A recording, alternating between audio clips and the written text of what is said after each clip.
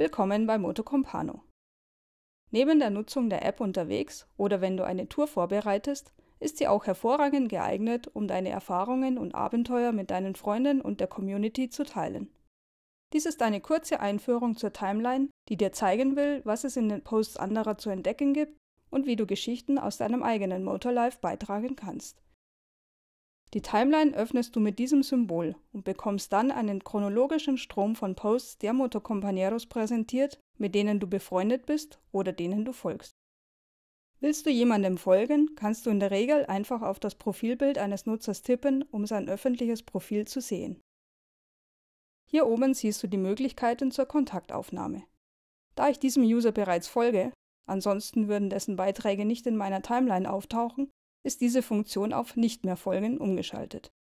Du kannst auch um eine Verbindung als Freunde anfragen und sobald ihr gegenseitig befreundet seid, kannst du direkt von hier eine persönliche Nachricht schicken und im Messenger chatten und ihr könnt Dateien eurer Touren direkt austauschen. Gehen wir nun aber wieder zurück zur Timeline. Hier oben kannst du die Timeline aktualisieren und sehen, ob bereits neue Beiträge veröffentlicht wurden. Und hier schaltest du auf die Timeline deiner eigenen Beiträge um. Beim Durchscrollen der Timeline stößt du manchmal auf Posts mit angehängten Daten. Hier sind zum Beispiel eine Mappe und eine Route beigefügt. Schauen wir uns das mal an. Dieser Nutzer präsentiert seine Tour. Oh, schön. Als Pro-User kannst du die ganze Mappe in deine Datenbank kopieren. Oder auch nur einzelne Dateien daraus. Öffne einfach das Element, das dich interessiert und kopiere dir nur das.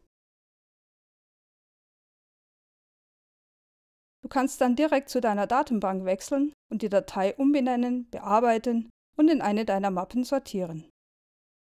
Oder du nutzt zum Beispiel diesen POI direkt, um eine eigene Route zu erstellen. Von einer Route aus kannst du hier direkt die Navigation starten. Aber gehen wir zurück zur Timeline. Du kannst dir also eine Menge Inspiration finden und möchtest vielleicht auch selbst andere an deinen Erlebnissen teilhaben lassen. Erstellen wir also einen eigenen Beitrag. Vergib einen Titel und schreibe eine kleine Geschichte oder einfach ein bisschen informativen Text. Du kannst Bilder und Dateien deiner Tour hinzufügen, wenn du magst. Wähle dafür einfach eine Quelle und wähle aus, was du posten willst.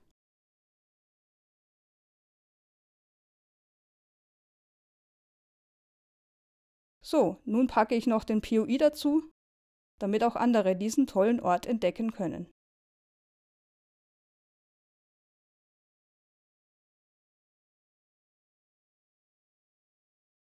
Jetzt ist alles vollständig und der Post kann veröffentlicht werden. Und so sieht das nun in der Timeline aus.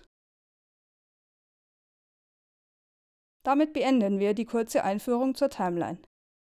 Viel Spaß beim Entdecken und Teilen von bemerkenswerten Orten, Touren und Geschichten. Pass auf dich auf, wenn du unterwegs bist und genieße dein Motorlife mit Motor Compano.